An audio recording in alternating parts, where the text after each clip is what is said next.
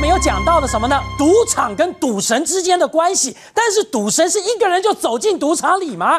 不是哦，这些赌神通常他们都会有团队合作，而在团队合作无间之下呢，从这赌场里面赚进大把的钞票啊。呃，就像电影一样，就是说为了让赌场不要发现说这个人在算牌呢，我们可能就是说先有一个人去算牌，当他算到好牌的时候呢，那他这个时候他就指挥另外一个人去下大注，嗯，那这样把大小注分开。那赌场就比较不会觉得说你是在算牌哦，所以算牌的话，也就是说其中有一个人在做，但是呢，另外一个人其实是后来再来进行大的下注。对，也就是说我用分工的方式。对对对，那那就是说可能当然就是说很多赌场也会针对这个东西，就是说如果说是说今天来讲你有有中途进来下大注的人的时候，这个时候赌场可能会不准或者是说注意。所以这个情况下，我们有可能是说，今天来讲，譬如说我本身已经是会算牌，然后很多赌场都认识我了。那那如果戴大哥，你现在在这赌场里面的话，那你算是哪一个人物呢？对，当然这就是技巧派。你是技巧派的人物，对对。你所以你隐藏在其中。呃，我等于是，你如果会先上桌，这时候我会打得很小，嗯，打得很小呢，我再算牌。那这个时候会有这个另外这时候负责下大注的人，他也同时上上桌了，他也打得很小。谁负责下大注？呃，就是像这样子的大玩家了，对。大玩家出现了。对对对。可是他我们是同时上桌的，因为赌场规定是说你中途。不能进来下大注，嗯，为了怕你是说像刚刚讲那个团队制度，所以这个情况下，我们大玩家上来的时候呢，那么我们这时候同桌坐，可是我们这时候我们大家都打得很小，可是当有好牌的时候呢，这个时候我们又打个暗号呢，大玩家就下大注了，那我们还是下小注。哦，所以你打个暗号给他，对，他就会开始下大注，对对，也就是说他有下注。的暗号出现的时候，他就开始下大，对对对对，可是他的我的面孔呢，赌场是比较比较熟悉的，就是我可能在黑名单里头有我的照片。可是他的面孔是一是他是以前不是没有做这个事情的，等于说对赌场来讲，他以他是没有技巧，他纯粹就是出一个脸。你是说找一个素人进来？对对对。等于说赌场里面就不知道他这号人物存在。对对。那那基本上来讲，等于说赌场就会去切个说，哎，这个人好像下注的方式很可能在算牌，他就会去切个说，这个人是不是呃黑名单里头的？就一切个，哎，这个人不认识，所以这个情况下赌场就可能对这个人比较容忍。可当然过了一段时间，他们会觉得说他就是一般的玩家。对对对。可过了一段时间，赌场也还是会认为说这个人在算牌，因为像刚刚讲你是大小注嘛。那这时候赌场在那个时候就可能把他禁掉了。哦。可是这个时候呢，基本上来讲的话呢，因为我们有技巧的人被保护住了，这个时候我们只要再换一个新的面孔来就好了。哦，所以说把它这个被禁掉。对。但是另外又派了一个人进来。对对对，我们另外再去找，因为这个不需要有技巧，就比较容易找到找到人这样。嗯。我想请问个问题啊，像你是技巧派，你在中间这样子。如果像电影当中场景，我们常常会看到，有时候会打 pass，打一些暗号。对，你们也要做这样的动作吗？对对对，其实暗号来讲的话，其实并不是很困难的。譬如说，举个例子来讲，说说，呃，像刚刚这个情形，就是说，譬如说，我说好，现在该下大注了。就平常，譬如说我假设我都是下二十五块，对不对？那这个时候呢，可能譬如说，我就，呃，譬如说，我再我再加一个钱，比如说我原来二十五块是绿色的筹码嘛，那这时候我可能放个五块钱，变成我下三十块了。嗯，那这时候的表示是说，这个时候你应该你也要下大注了。那下大注的时候，如果说我今天来讲，我今天譬如说，假如说我跟你讲说，好，你现在要下一千块，我放一个五块；你要下两千块，我放两个五块，这样太明显了。嗯，所以很可能说，今天我只是放一个五块提醒你以后呢，然后这时候我手上拿几个筹码，我手上拿拿着一个筹码就表示说你要下一千块，拿两个筹码你就要下两千块。你说连手上拿着筹码都是在打暗号，对不对？哦，这个很简单的暗号，暗号其实都是很简单的，不会弄得很复杂。然后另外来讲的话，你下注的时候呢，可能你下注的打法本身呢，可能要改变。那这时候我们可能用手指来指挥，就譬如说，假设说今天你下两注，那两注的时候呢，我的手指放在那边的话呢，就是说我的拇指就是第一注，我的食指是第二注，所以我的手如果伸出来的话，就说你要加牌；我把它收进去的话，就说你不要加牌。哦，然后比如说我那这就岂不是跟那个棒球场上面那那个呃对这些教练在跟那个投手打 pass 一样的状况？对对对对对对。那像这样子的时候，情形之下的时候，那大玩家他就会注意到你们这些在下的一些指令，他就会照你们的动作去进行。对对对。但但是有没有？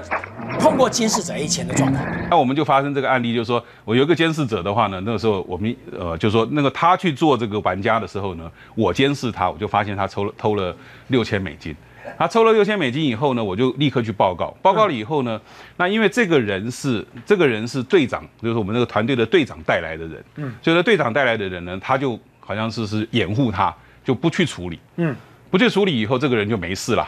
那没事了以后呢？过了半年呢？这个人本来是没钱的，是一个菲律宾的，本来他原厨师，没钱的，没钱的。然后过了半年以后呢？有一天呢，有有人就看到他在赌场里头呢，他在大概几个小时中间就输了十三万美金。哎呦，是输的蛮大的。对，所以等于是说，今天讲你原来是没钱的，经过半年的时间，你哪里来那么多钱呢、嗯，所以后来就是确定说这个人是有偷钱，所以整个团队的人大家合起来跟队长抗议说，你一定要把他开除掉。嗯，但是你们到了赌场里面去以后对，你们现在安排了人到里面，对。可是你们安排人到里面之后，一定也有别的国家的这些团队进来嘛？对那这当中的尔虞我诈，对是否就在这个整个牌局上面就会出现了呢？看情形，就是说，譬如说这个赌场，像我们现在找到这个赌场有漏洞，但是有漏洞的话，很多人也都知道，其实我们也不是第一个做的，就是说我们看到有一个团队在里头赢了三千万美金。哦，三千万美金啊，对对对赢这么大哦，对，所以我们是模仿那个团队去做的，嗯，所以等于说我们也不可能说禁止人家去做，所以同时间都会有很多的团队在里头活动，哦，所以搞到后来这家赌场现在是破产的，全部破产，嗯全部被你们这些赌神给玩垮了。漏漏洞太多了，哦，所以这这是一个情况。那那像我们在呃在就是说。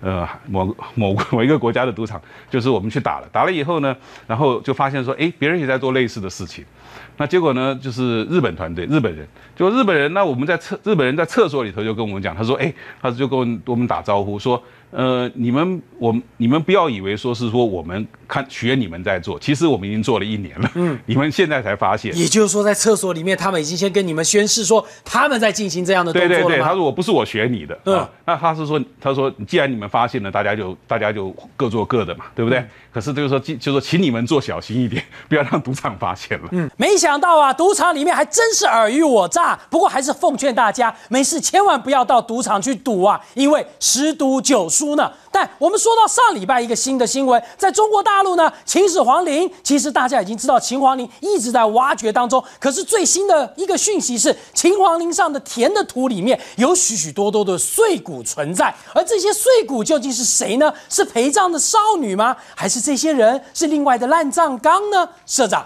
对，上个礼拜中国大陆发表一个很令人震惊的一个消息啊，我们知道秦始皇陵一直在开挖，已经开挖了四十年了嘛。。对，那最近这五年，它其实开挖的地区重点在哪里？在这边给各位看了一个图，这个图底下这边是那个秦始皇陵那个封土嘛，然后上面这边有两块，一块是那个陵寝建筑，另外这一块是什么？绿色的这一块就是有一百八十八个陪葬坑，嗯，都很小的墓陪葬墓，那大概已经挖掘了大概九十九九十九个小墓啊，九十九个样，赫然发现。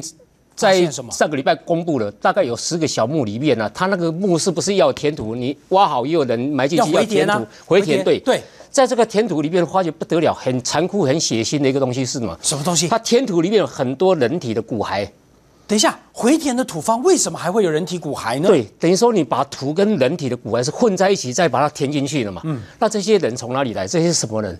后来用 DNA 鉴定，这些人既然都是清一色是少女、啊女性、未成年少女。你是说就在这个回填的土方里面，我们在挖掘当中的时候，这些土方的这个层内，居然还有许多未成年少女的骨，骸在而且其中为。数蛮多的，嗯为数蛮多，而且很多肢体不全，有的只有头，有的只有那个身体残肢的部分，非常恐怖的一个一个状态。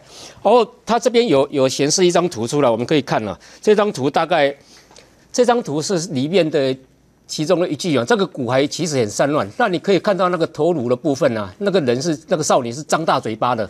那像我们以前看到那个金身尖叫木乃伊一样，他在死之前其实是相当的恐怖或者很狰狞的，很很不愿意的，所以会尖叫尖叫的那种表情出来吧。嗯，那后来考古学家就在考证，那为什么这些人从哪里来的？为什么会有这种人形的一种现象？我们知道殉葬本本来中国就有，秦始皇在《史记》里面记得很清楚嘛，说他过世以后，当时他的儿子胡亥，秦二世，胡亥里面有讲说。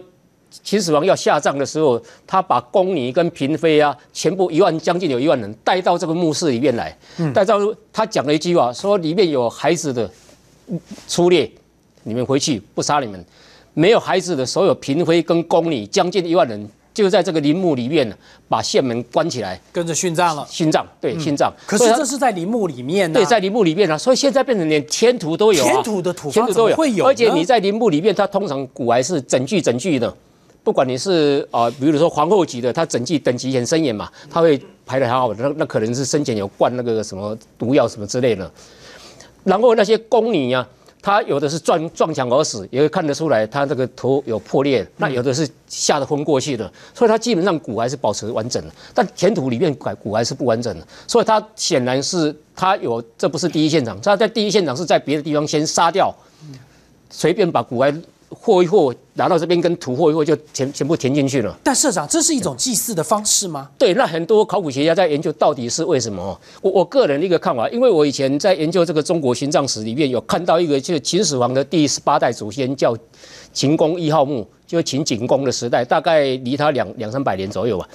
秦始皇的祖先这个景公，他在下葬的时候提出一个观念，叫人生。生是哪一个人？畜生的生。嗯。人生就把人杀掉以后，像畜生一样去干嘛？祭神啊？用这种方式？对，祭神不是要陪他下地狱以后，怎么在旁边伺候你？它是一种邪祭的一种方式，像中南美以前有邪祭嘛，要祭神的时候要把人人那个心脏拿出来，一样的道理。所以他把人杀掉，所以就杀掉也没有什么，你也没有什么等级啊，也不是公你，也不是嫔妃啊，随便跟土混一混就就就填进去了。那这种这种景公一号墓里面，景公一号墓里面，其实我们可以发现到这种人生其实是非常。非常血腥而非常恐怖的。那我特别讲，在这种所谓的这种殉葬里面，其实不止中国，世界各地都有。我先讲一块是印度，印度你知道也很可怕。印度大概在两千六百年前，离现在两千六百年前，他们以前的殉葬啊，是那个如果说主人死了，那你你是他的他的老婆，你就要跟着陪葬，陪葬。他等级还很森严，正式跟小妾，正式跟他陪葬是。人死了以后，他不是要火化吗？对，要火化嘛。这个主人坐在柴柴堆上，他已经死了，但是另外一个没死啊，那个他老婆没死啊，大老婆没有，大老婆要么穿着新娘服装，穿着新娘服，哦，也是坐在这个柴堆上，跟他一起火化。什么？你说活人直接火化？活人直接火化，哎，哦，那个小妾啦，其他的几个小小太太啊，姨太太什么呢？妃子啊，什么之类的，全部都在另外一个柴堆上。